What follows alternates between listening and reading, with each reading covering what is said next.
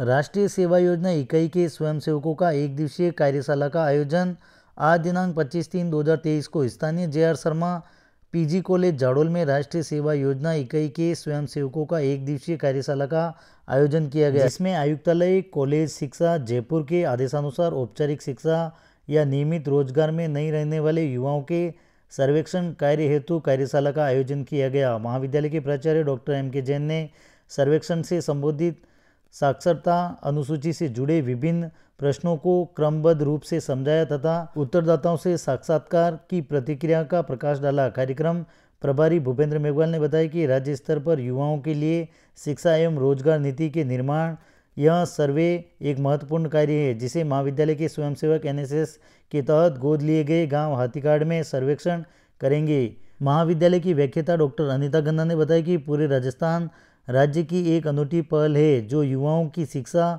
व रोज़गार की स्थिति का विश्लेषण करने हेतु यह महत्वपूर्ण सर्वेक्षण कार्य एनएसएस के स्वयंसेवकों द्वारा संपादित किया जाता है। धन्यवाद। बीसीए विभागाध्यक्ष निशा मेघवाल ने दिया। कार्यक्रम में साठ स्वयंसेवक उपस्थित रहे।